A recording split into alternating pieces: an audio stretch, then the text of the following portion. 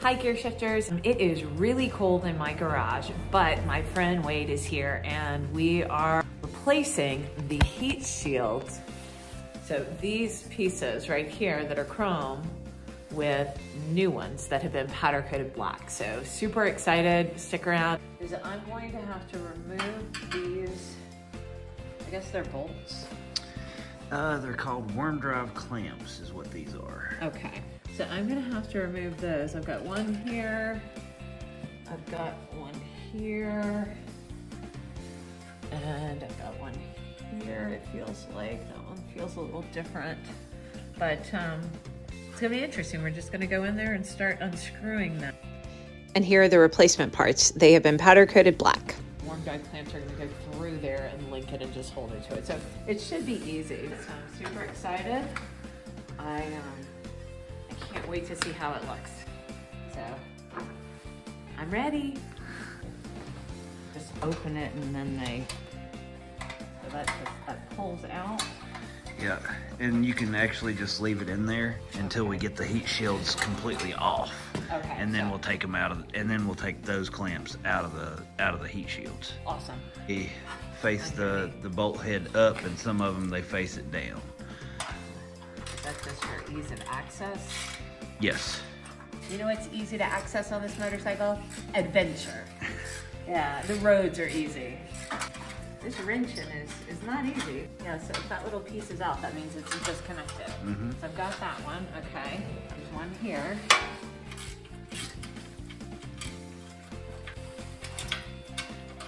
Rocket. Let it go. Ah, thank you. He saw the ball on top, It's and he thought it was a play a ball to play with. Funny. That's my hat. Nope. I had to turn my hat wrong side out because there's a ball on top of it and it looked like a toy. Don't I? For this guy.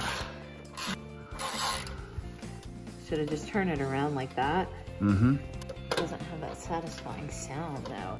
We call those the mechanic fidget spinners. To be able to access one of them, we are gonna have to take off this cover. Okay, it's for my leg. Rubs up against it. Wear mark.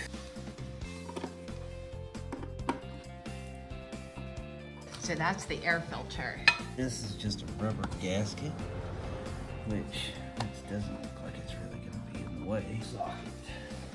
Okay, it's not going to. We'd have to take off that whole housing the way it is, or there is another option. We have four hands. Yeah, I still won't be able to get the ratchet in there at this point. Once we get to there, it's completely loose. But there won't be enough room to go on the underside because of the timing cover. Gotcha. But when we put it on, we can angle it up a little bit more, so that way we don't have to worry about doing this. Put this back in. Or we'll leave the cover off, just to leave us that much room, but we can put the filter back. All right. One more to go.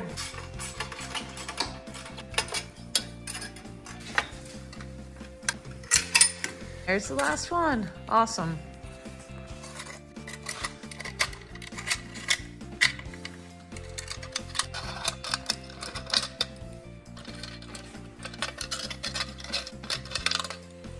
Do you think the best way to approach it is going ahead and attaching them to here and then wrapping them around? Yeah, because if you try to put those on there and then try to run those through, you'll never get them through.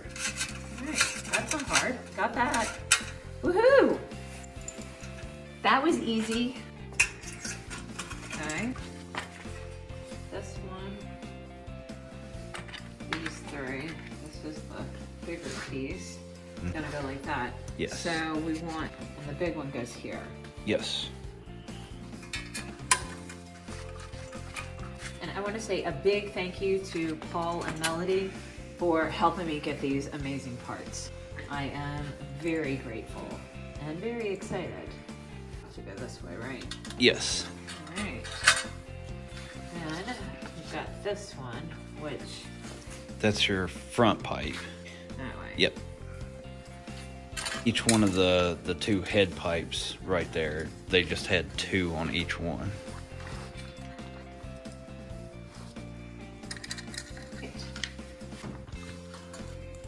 On this end, And then the other way on the other one. yes. Yeah. Starting to get the hang of it on the last one.